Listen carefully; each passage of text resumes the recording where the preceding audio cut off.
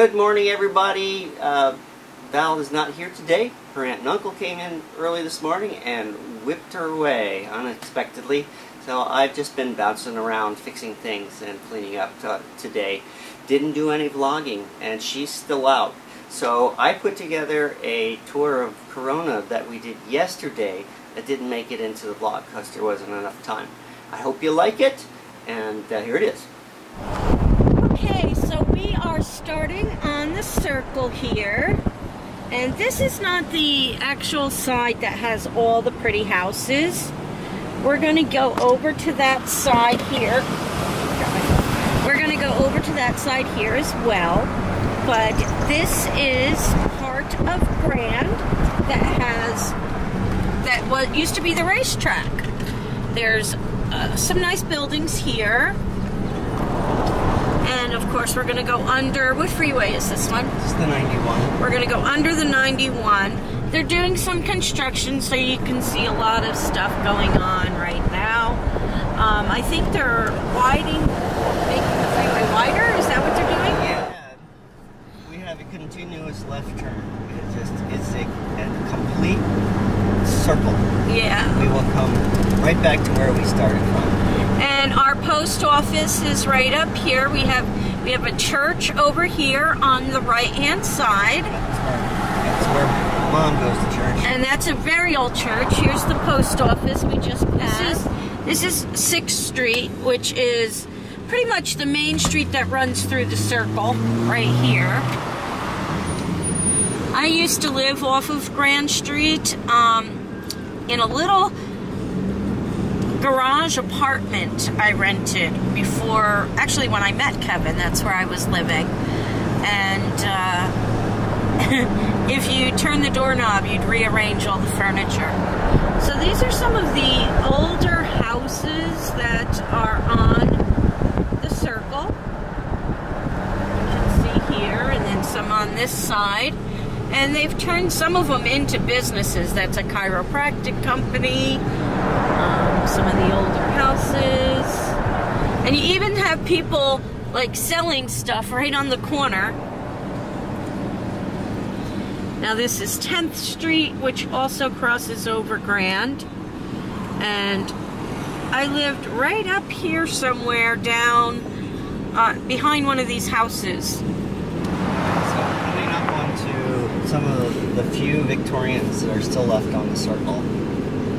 We got a nice nice Queen Anne right on the left over here that's being going through some renovation. And uh, here in California, you don't see that much anymore unless you do back east. You might see the you might be bored of them back east, but here it's such a rare sight to see something. Most of the houses that you see around here are arts and crafts. This is a nice Queen Anne Victorian. Oh, they painted it. Yeah, they're painting. All right, here's the Queen Anne.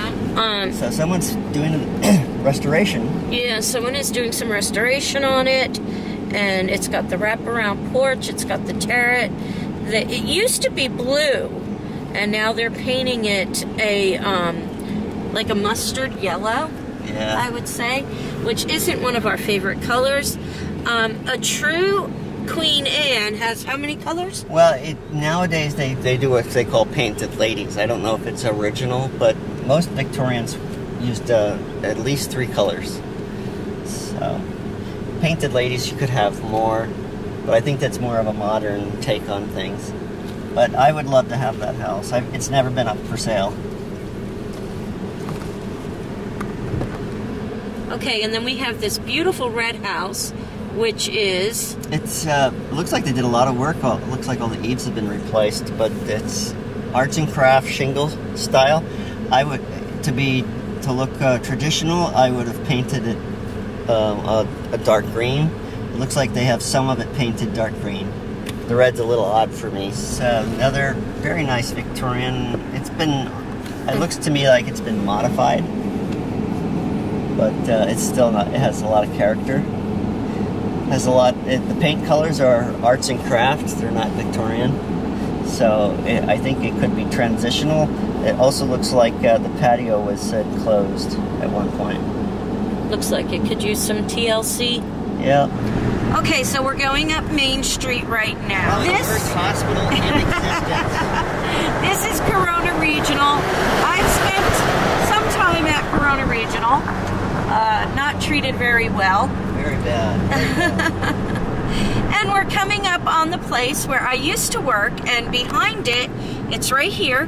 I used to work at this chiropractic place, and behind it is where we got married. There's a little patio, um, restaurant type place, and we got married back there. we got a Victorian right over here. Yeah.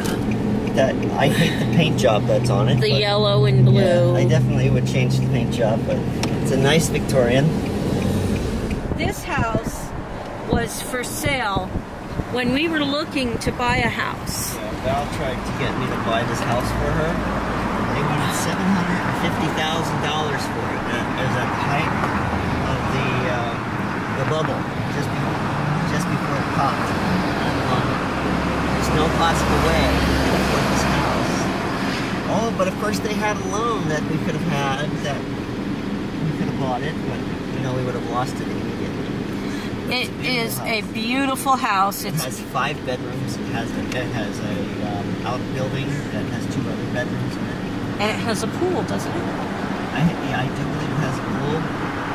And And it's an Arts and Crafts, and it is a very beautiful house. The indoor, when we looked at pictures of it, because we never went inside, but the pictures are beautiful. it's well restored. Somebody did a lot of work in there.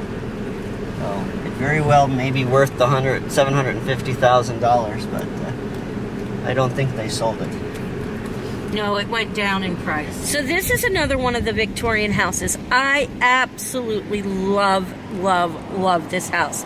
I love the colors of the house. I love the design of the house. I love the little statues that they have all through the yard. They have that one there. They have some over there more. Just absolutely gorgeous, gorgeous house. Love it. Love it, love it. And there's the blue Victorian. And this house was also for sale at one point. And I believe this was the house where the mayor lived. I believe so. So that is also a beautiful old house here in Corona. I love the little wishing well in the front yard. So Val is still not home yet, and I've got to get this log up, so there isn't going to be any shout outs. But she did phone in her question for the for the night. She will answer last night's tomorrow as well. We're going to be at the doctor's pretty much all day tomorrow, and we will be vlogging that. So Val's new question is, what is your earliest memory? And for those of you who are still following along on my horror film trivia, um, the uh, sequel to Rocky Horror Picture Show was a 1981 movie, Shock Treatment. And the ones who got that was first was um, Terry Johnson, second Greg Myers, third Bambi S, fourth John Harrison, and five Tanya Longley. Okay, today's trivia is what are the three rules of the Mogwai from Gremlins 1984? So we'll see you all tomorrow. Bye.